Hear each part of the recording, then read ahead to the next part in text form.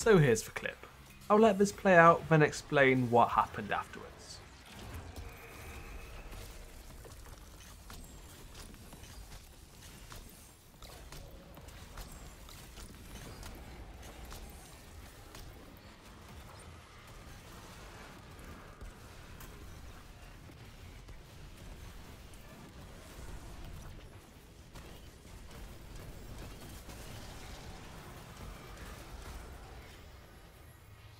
The main damage source here is Glacial Quake, but a few things have really ramped up its potential.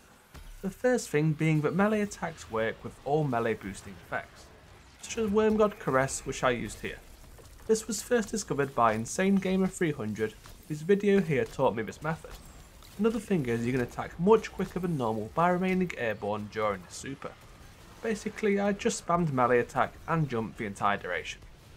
This effect works with other Titan supers such as Sentinel Shield too by the way.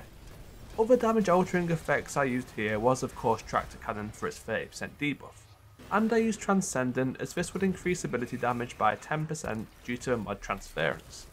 I also used Shield Crush to improve ability damage by a further 25%. For the full subclass setup, here it is. I will link this in the description too. The perfect paradox was a threat detector and trench barrel roll just with the intention of clearing up any remaining health after the main super and ability dumping combination. Overall, this strategy is not too difficult to execute during damage, but you do have to make sure you prep perfectly. Missing any part of this build and damage will be reduced by a lot.